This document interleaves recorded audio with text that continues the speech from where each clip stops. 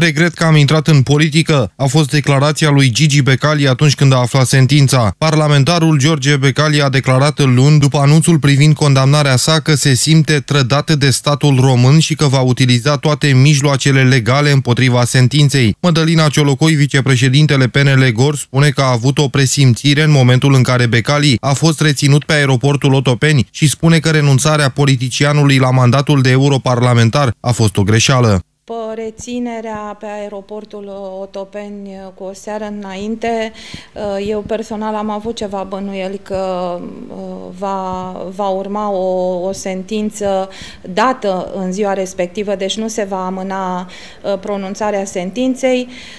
Personal, ce să vă spun? Regret că s-a întâmplat așa ceva, regret că a fost în primul rând o mișcare, cred că a fost o mișcare greșită a dumnealui să renunțe la Parlamentul European, European deși a fost a candidat pe listele Uniunii Social-Liberale și a ieșit parlamentar al USL-ului, cred că pentru dumnealui era mult mai bine să rămână parlamentar european. Mădălina Ciolocoi spune că rămâne de văzut dacă Becali va face recurs sau va cere grațierea președintelui Traian Băsescu.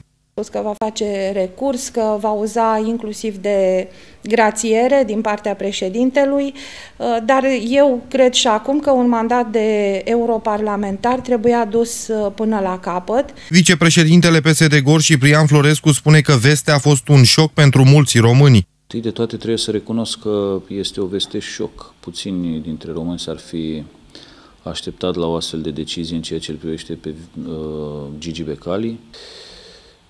De comentat, uh, eu personal aș spune așa, uh, dacă este într-adevăr vinovat și dacă s-a dovedit această vinovăție, foarte bine, trebuie să plătească. Personal însă ce mă nemulțumește este faptul că sunt și alții poate care au păgubit statul mult mai tare și cu mult mai mulți bani și se află în libertate, ba mai mult decât atât ne râd de pe cine știe ce plaje ale mapamondului. Mihai Mazilu, primarul orașului Târgu Cărbune, spune că anunțul a fost o surpriză. Surpriză, cred că a fost pentru toată țara, pentru toți oamenii, zice de bine, care își judecă cu capul cel cu o baterie cenușie în ideea în care, sincer, nu sunt prea entuziasmat de, de capacitățile dumnealui, eu știu, uh, intelectuale, manageriale, dar este un om cu mare suflet. Uh, se pare că a tratat cu uh, prea multă lejeritate